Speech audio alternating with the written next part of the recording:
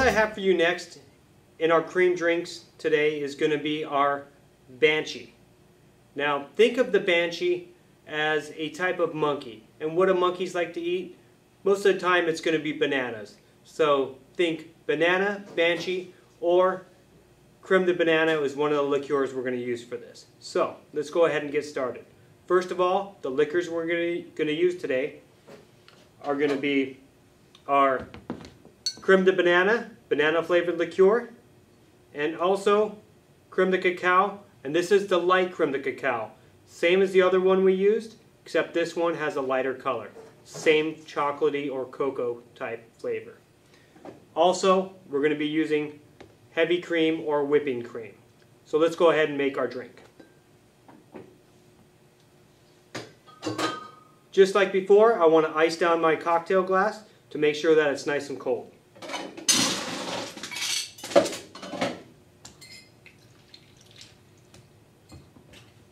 Next, take my mixing cup, fill that all the way to the top with ice.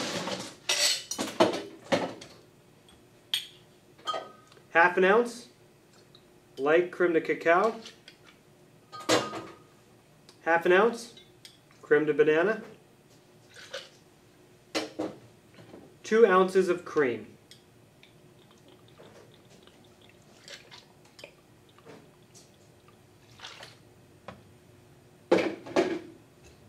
Shake vigorously for five seconds.